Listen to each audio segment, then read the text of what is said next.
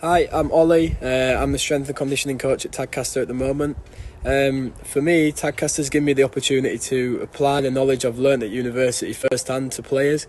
Um, I think there's only so much you can do by reading journals and putting pen to paper. It comes down to actually applying that in the gym or on the pitch. And Tadcaster's given me that opportunity no end, to be honest. Um, looking at my development, I've tried things that I would never have the chance to do elsewhere. I've put together my own training plans, executed them, found out what's gone wrong with them, and then changed that. And I think that's experience which is invaluable, to be honest, and you couldn't get from just attending lectures or seminars or just reading online.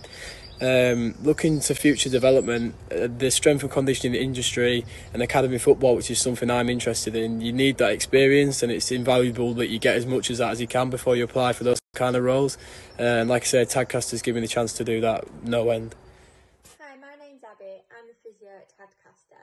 Being at Tadcaster has benefited me in so many different ways. It's given me much more confidence and also helped me understand more about different injuries and different recovery and rehab programs.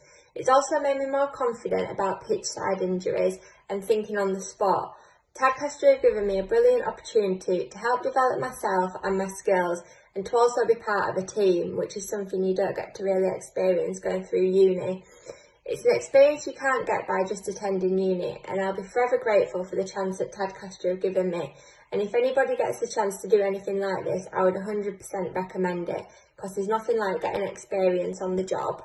Hi everyone, just want to say we've had an absolutely fantastic response to yesterday's um, output around young players for our new emerging talent squad from next season.